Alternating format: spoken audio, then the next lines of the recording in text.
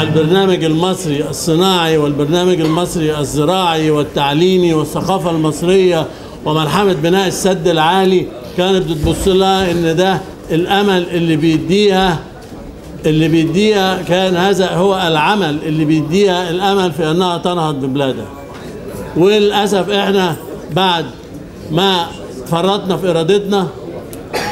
النتيجة إن هذه الدول إحنا شفنا هي مشيت وصلت لغاية فين؟ وإحنا ركزنا على الاستهلاك وركزنا على إعادة توزيع الثروة بحيث إنها بعد ما كانت مصر ومشاريع مصر في الخمسينات والستينات في المية من الشعب المصري رجعت تاني لنص في المية من الشعب المصري ورجعنا النهاردة أربعين في المية من شعب مصر تحت خط الفقر.